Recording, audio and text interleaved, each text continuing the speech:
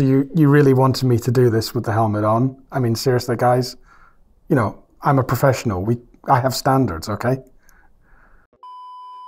Hi everyone, I'm Richard, the editor of the Watch Gecko magazine, and I was lured here today as a lifelong Star Wars fan with the promise of meeting Anakin Skywalker. I wondered, was I going to meet Anakin Skywalker as a youth before the dark side had taken over, or was I going to meet Darth Vader himself?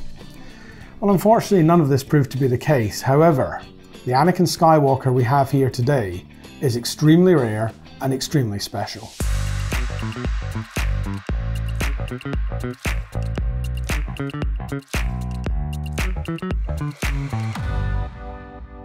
This is the Omega Seamaster Anakin Skywalker. It was given its name by the Omega guru Chuck Maddox, who as a Star Wars fan found three Omegas from the 1970s that he wanted to give Star Wars names to. So it was partnered up with the Darth Vader and the Jedi. Now the Anakin Skywalker itself that we have here is a circa 1970 variant and has been loaned to us very kindly by Watches of Lancashire. The Omega reference is 145023. Now you could be forgiven for thinking it looks a little like a Speedmaster rather than a Seamaster. And that's because it does. And also it has the caliber 861 movement inside it, which was in the Speedmasters of the Apollo era. The case of the Anakin Skywalker is arguably its most striking feature.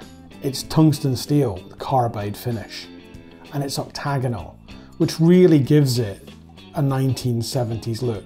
You wouldn't have any trouble identifying the era this watch comes from. The Darth Vader version is completely blacked out with a ceramic-like finish, and it was the Darth Vader that was actually given its name first, with Chuck Maddox arguing that the Anakin Skywalker, which is the polished steel version, was simply before Anakin had gone over to the dark side.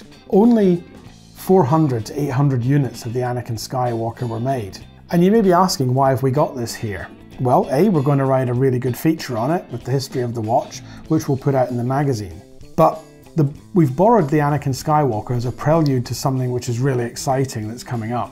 Watches of Lancashire coming over very soon with a huge collection of their most impressive historic, vintage, and unusual watches that they've got for sale. They're bringing, for example, a 1960s Ed White Speedmaster, which is a watch I have wanted all my life to see. We're going to be filming the conversation. It's going to be between Watch Gecko and the Lancashire staff around this table, and we're going to film it as a video podcast and then we'll release it out. So hopefully you can join us for this because it's going to be a fascinating conversation. Thanks for watching. Uh, please subscribe to the YouTube channel and make sure that you log into the magazine regularly to see our features. Don't forget about the Watches of Lancashire chat because it's going to be something very special and you're not going to want to miss it.